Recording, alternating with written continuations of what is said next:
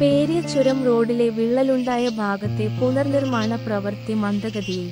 യാത്രാ ദുരിതത്തിൽ വലഞ്ഞ നാട്ടുകാർ. വയനാട് കണ്ണൂർ അതിർത്തിയിൽ കണ്ണൂർ ഭാഗത്തെ നൂറ് മീറ്റർ റോഡിൽ പുനർനിർമ്മാണ പ്രവൃത്തി മന്ദഗതിയിൽ വിഴയുന്നു നിലവിൽ കൊട്ടിയൂർ പാൽച്ചുരം വഴിയാണ് കണ്ണൂരിൽ നിന്ന് വീതി കുറഞ്ഞ റോഡായതിനാൽ പാൽച്ചുരം റോഡിൽ ഗതാഗതക്കുരുക്കും രൂക്ഷമാണ്. ഭാരവാഹനങ്ങൾ പാൽ ചുരത്തിൽ കുടുങ്ങുന്നതും പതിവാണ്. ഗതാഗതം നിലച്ചിട്ട് രണ്ട് മാസമായി. വയനാടിനെയും കണ്ണൂർ ജില്ലയെയും ബന്ധിപ്പിക്കുന്ന പ്രധാന റോഡാണ് പേരിയ നെടുമ്പൊയിൽ ചുരം റോഡ്.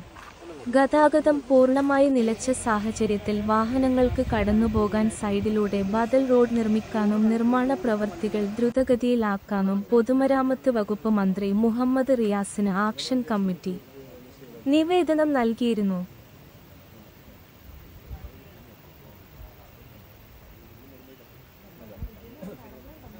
ಇಲ್ಲ ಇಲ್ಲ ಇಲ್ಲ